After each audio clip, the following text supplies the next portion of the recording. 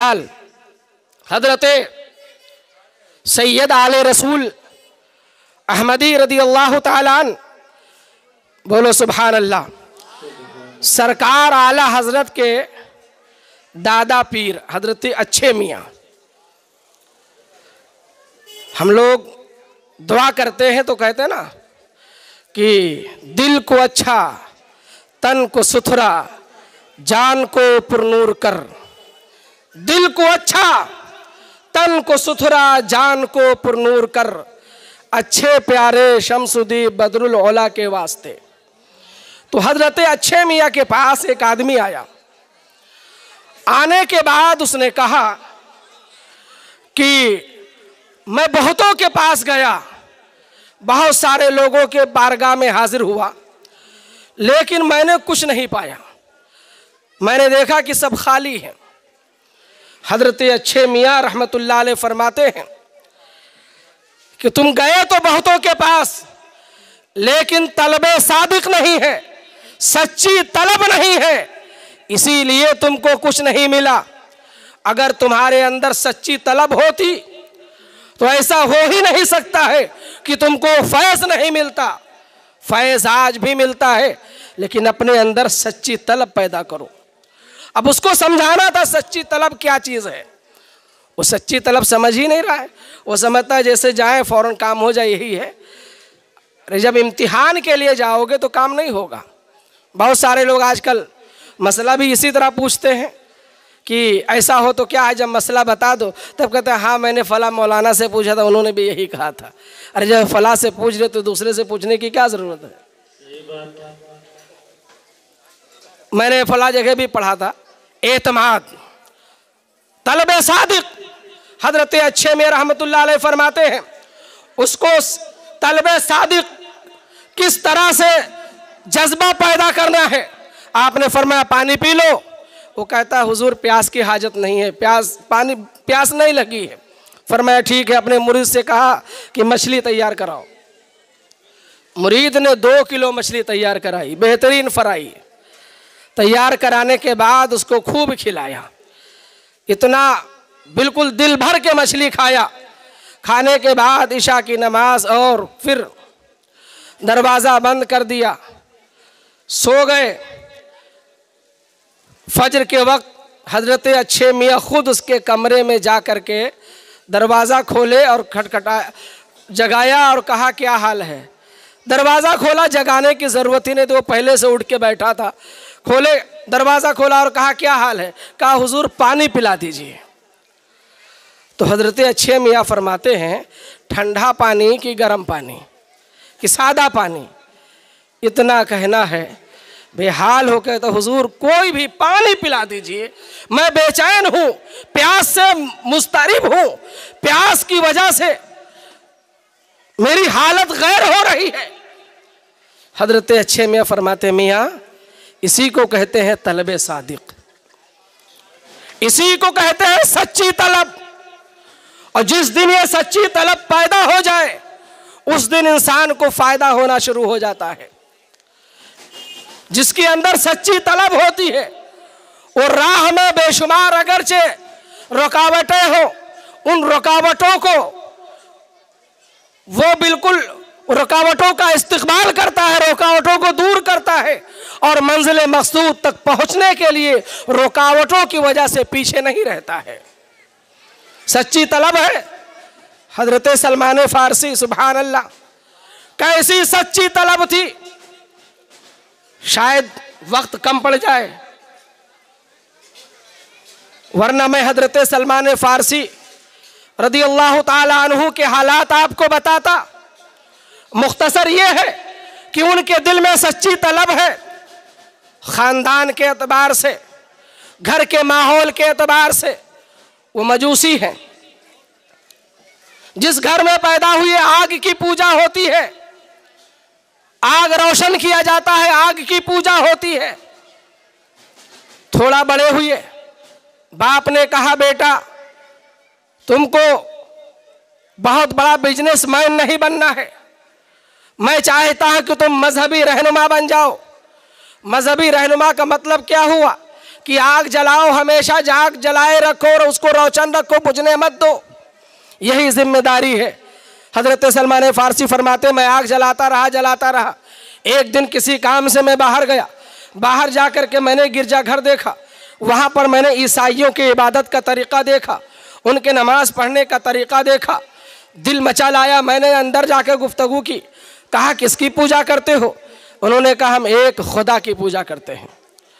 ईसाई उस ज़माने, हर ज़माने में अच्छे लोग भी रहे हैं, जो सही तरीके से हज़रत ईसा को मानने वाले थे, एक खुदा की पूजा करने वाले थे, तसलीस के कायल नहीं थे।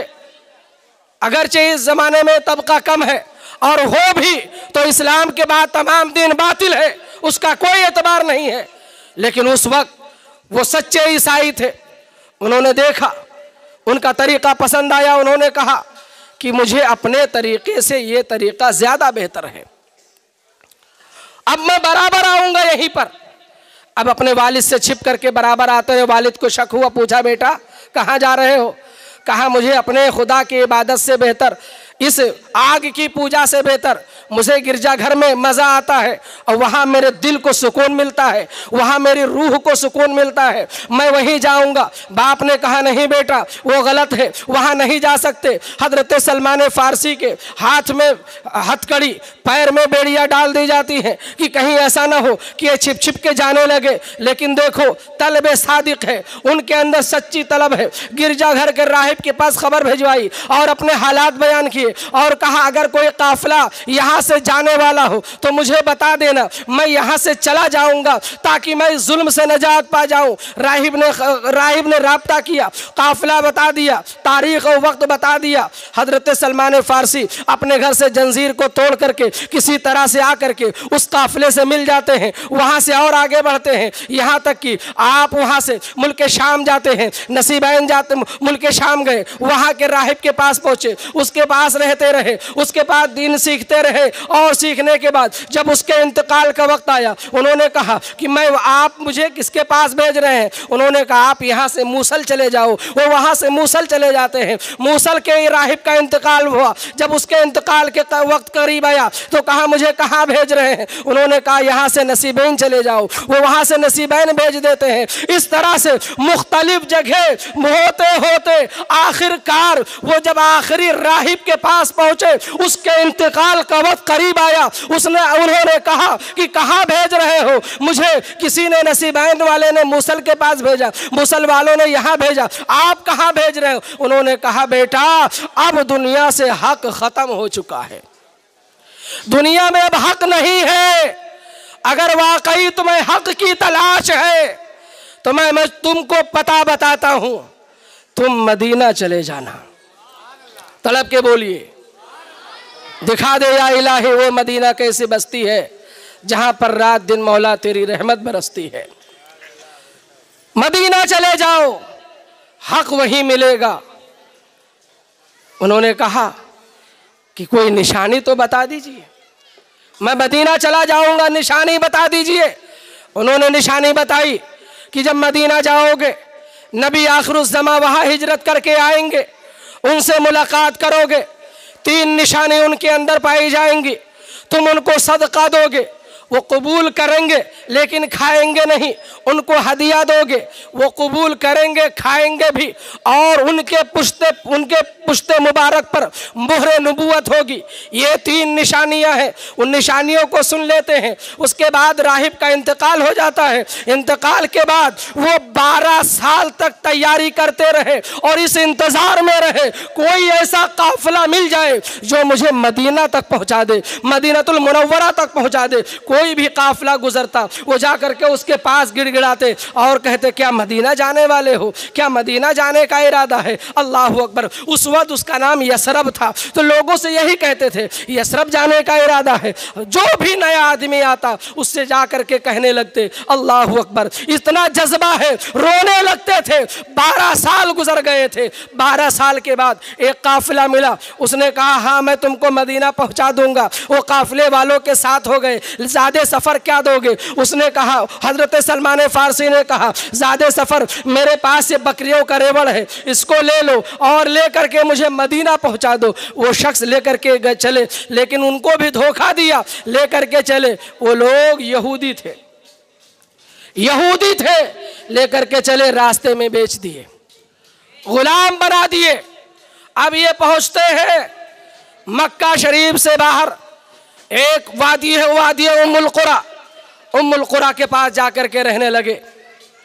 वहाँ गुलामी की ज़िंदगी बसर कर रहे हैं, लेकिन काम बड़ा अच्छा करते थे। मक्का, मदीना शरीफ से वहाँ कबीला रहता था यहूदियों का। मदीना शरीफ में उस कबीले का एक शख्स जब वादी उम्मुल कुरा आया, आने के बाद सलमान फारसी के काम को देखा। उसने कहा कि मुझे, इस गुलाम को मुझे दे दो। हज़रत सलमान फारसी को खरीद लिया।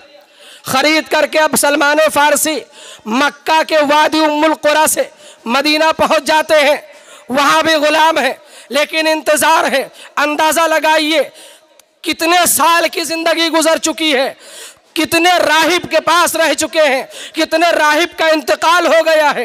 एक मजूसी से, ईसाई ईसाई से यहूदी के गुलामी में रहे, लेकिन इसके बाद भी तलब सादिक है, सच्ची तलब है, सच्ची मोहब्बत है, सच्ची मोहब्बत है। अल्लाह की मदद देखो, एक दिन वो आया कि हज़रत सलमान फारसी खजूर के बाग के ऊपर खड़े होकर के खजूर के बाग खजूर के दरख्त पर खजूर को तोड़ रहे थे कि मुनादिया निदा देता है। देखो, मदीना शरीफ में जो आबादी, जो नबी आए हैं, जिन्होंने ऐलान नबूवत किया है, उनके साथ बहुत सारे लोग जा रहे हैं और लोग ईमान कबूल कर रहे हैं। अल्लाह अकबर। सलमान फ़ारसी को, जब सलमान फ़ारसी के कान में ये आवाज़ गूंजती है, सलमान फ़ारसी दरख्त से नीचे उतर जाते हैं। अल्लाह अकबर। मालिक ने खींच करके एक तमाचा रसीद किया और कहा, तुम्हें इन बातों में पढ़ने की क्या ज़रूरत है? तुम जाओ, अपना काम करो। लेकिन सलमान फारसी को देखो, तलब सादिक है, सच्ची मोहब्बत है, शाम की तारीखी होती है, आपका मालिक छुट्टी दे देता है, छुट्टी हो जाती है, हुजूर लेकर के हुजूर की बारगाह में हाजिर हुए, उस वक्त सरकार कबीले बनु कुरैजा का एक गुलाम था, वो बनु कुरैजा का एक शख्स जिसके गुलामी में ये थे, छुट्टी दे देते हैं, वो हज़रत सलमान फारसी आते हैं, उस वक्त सरकार कुबा शरीफ में तशरीफ़ फरमा थे, मदीना शरीफ से बाहर एक बस्ती है कुबा सरकार हिजरत करके पहले वहीं गए, बस। कुबा में जाते हैं, बस, पाँच मिनट। कुबा में जाते हैं, जाने के बाद मेरे आका सलात व तस्लीम की बारगाह में हुजूर पेश किया। फरमाया, हुजूर, ये सदका है, मेरे आका ने लिया। लेने के बाद साहबा को हुक्म दिया कि इसे खिला दो। साहबा लेते हैं, आपस में खा लेते हैं। हुजूर ने नहीं खाया। हज़रत सलमान फ़ारसी दिल ही दिल में खुश हुए कि राहिब ने कहा था कि वो, उनकी निशानी ये होगी कि वो सदका लेंगे लेकिन खाएँगे नहीं। उन्होंने सदका नहीं खाया। दूसरी बार फिर हुजूर पेश किया। सरकार ने खुद भी खाया और सहाबियों को भी खिलाया। वक्त नहीं कि मैं तफसील बयान करूँ कि कितने खजूर खाए थे। बहरहाल, अब सरकार वहाँ से, हिजरत फर वहाँ से मदीना तशरीफ़ ले आते हैं। जब हुजूर मदीना तशरीफ़ ले आए, सलमान फ़ारसी, अब कबीले बनु कुरैज़ा से, जब छुट्टी होती है तो मदीना आते हैं।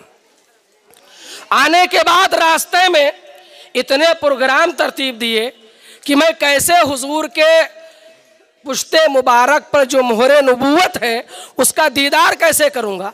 अब ज़ाहिर सी बात है, हज़रत तशरीफ़ फरमा है, ये जुब्बा है, कुब्बा है, शेरवानी है अब पीठ देखनी हो तो आपको कहना पड़ेगा कि हुजूर, जुब्बा उतार दीजिए। चादर हो तो कहना पड़ेगा, चादर उठा, उतार दीजिए। हज़रत सलमान फारसी सोच रहे हैं।